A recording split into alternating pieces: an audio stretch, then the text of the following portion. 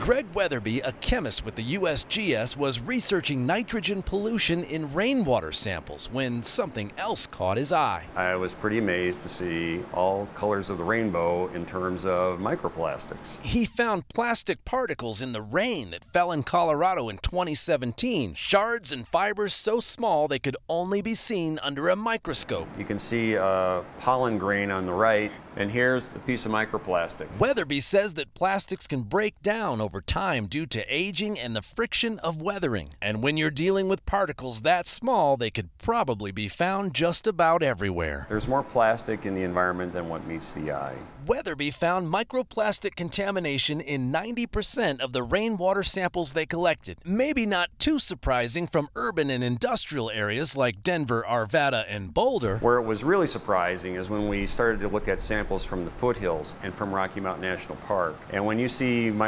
microplastics in a place like that, then it makes you think that these materials could be everywhere. Nearly 11,000 feet up into Rocky Mountain National Park is certainly far from the urban centers where plastics prevail, but that plastic footprint may be even larger. On Wednesday, another research group from Germany announced that they have found these microplastics in the snow around the Arctic. That's an incredible discovery because uh, now we know that these particles are transported in the atmosphere a very long way. What impact these microplastics may have on the environment or on human health is still unknown. Wetherbee says we must first determine how much microplastic we're dealing with and where exactly it's occurring. He believes his data is a step in the right direction. So maybe it will give us an awareness for how to make plastics better, how to use them wisely, and how to dispose of them appropriately.